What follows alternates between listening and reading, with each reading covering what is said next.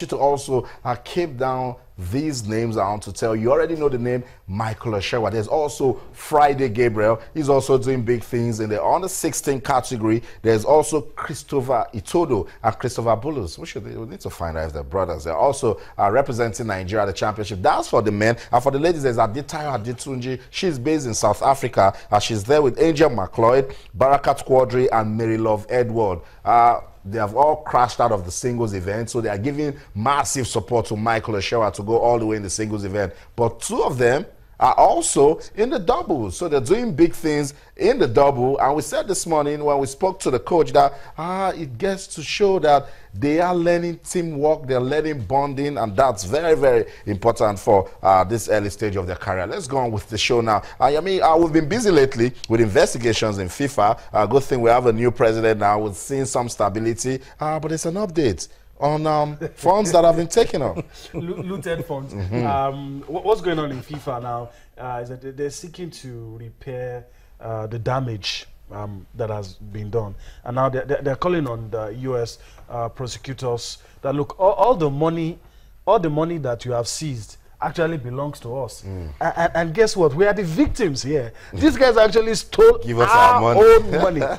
so, you know, do whatever you're going to do. Mm. Release the money to us um, they have come out to accept. You know, in, the last one or two years has been deniers all the way, but now they said, okay, we agree that some of us took bribes mm -hmm. uh, to uh, give the World Cup, uh, and these are the key figures. Uh, you know all of them already, and these are the guy. Uh, um, as at the last count, 41 officials mm. related to FIFA. Wow in terms of individuals and there are some other organizations now you can begin to mention names of organizations mm. that money were, were siphoned through some of them. So what what um, FIFA is trying to do, uh, the new board uh, led by Gianni Infantino, right. what they're trying to do now is to ensure that look, return some of this money to us because we're actually the victim here, and go ahead and charge those mm. guys if you want to charge them. Yeah.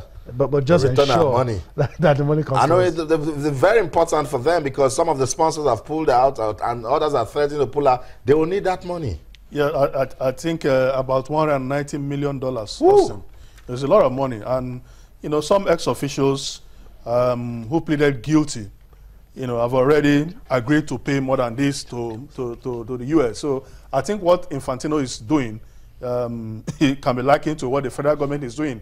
You know, our president going around the mm. world trying to get money stolen from Nigeria right. brought back to the country to mm. help development. And Infantino said that this money we have meant for school fields, mm -hmm. we are meant development for of development game. of the games, and not for mansions, not for officials who are. this money. He will freeze this money for jewelries and things not related to football. So I think um, I, th I, think it's a step in the right direction because at, the, at this stage you need to take you know definite um, positions. Yeah. You need to start the, the, your body language should portray you as somebody who has indeed come to clean up yeah. um, the scandal mm. that has uh, bedeviled FIFA over the past uh, two, three years. So I think it's a, it's, it's, a, it's, a, right step in the right direction. That's right. If they are able to get some of this, they have already written, mm. the U.S. authorities, FIFA lawyers have written, mm -hmm. and in fact, they have even raised alarm about an ex-FIFA member who has been living, you know, very flamboyant lifestyle. Mm.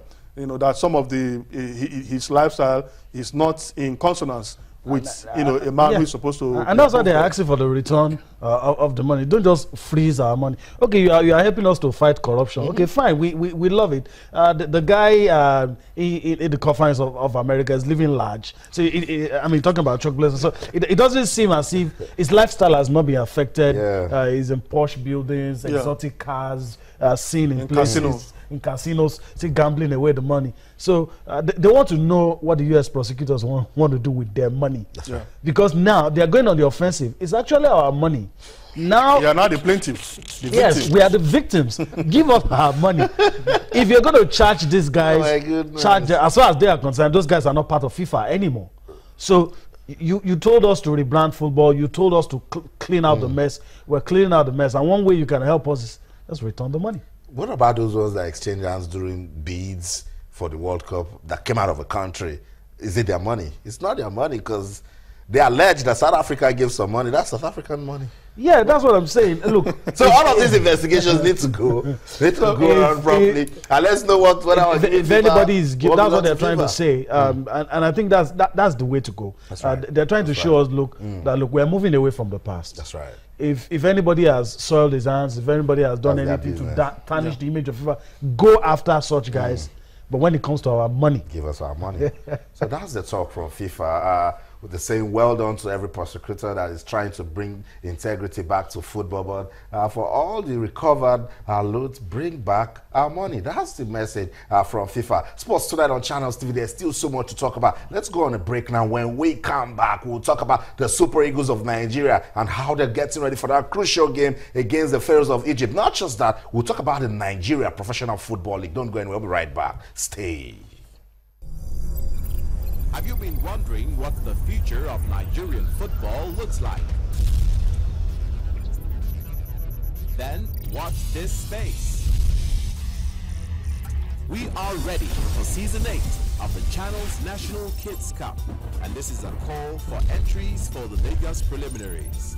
Interested schools should pick up application forms from Channel's TV headquarters, Isheri North, and Subeb Sports Office. In Maryland, application form is free.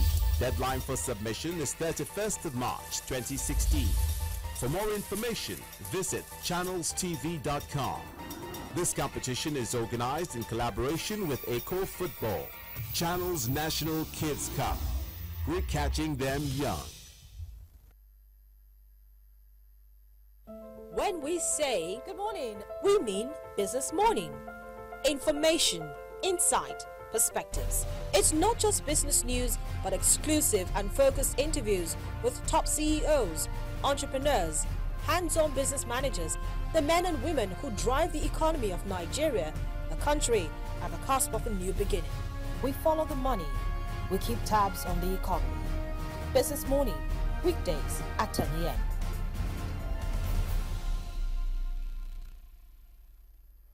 That's right, you saw that promo again. We're getting ready for season eight of the channel's National Kids Cup. We're excited because it's all about grassroots development right there with primary school pupils. We're going back to the basics. That's what the channel's National Kids Cup is all about. Schools in Lagos, we're coming for. Kids, tell your games master, tell your proprietor, your proprietors, have you picked up the forms for the channel's National Kids Cup? Hurry up. 31st of this month. That's the deadline. We're coming. It's all about catching them young. That's it for the channel's National Kids Cup. Let's come back uh, to the show now. Um, Yemi Adebayo, what? I don't know. I've been looking for a way to describe that game between Nigeria and Egypt. And Coach Samson he has a big task ahead of him. He needs to understand a blend of foreign and home-based Eagles. That's a lot of work. It's a lot of work, and some people have even uh, gone ahead to say that um, the outcome of that game will determine his future. Um, um, his coaching future uh, in Nigeria and, and even beyond beyond the country because if he's able to pull the chestnut uh, out of the fire it's going to open up um, a, a, lot of lot, a lot of things a lot of opportunities for him here um, and abroad. I mean you, you run out of adjectives to describe. I know. It's going to be a disaster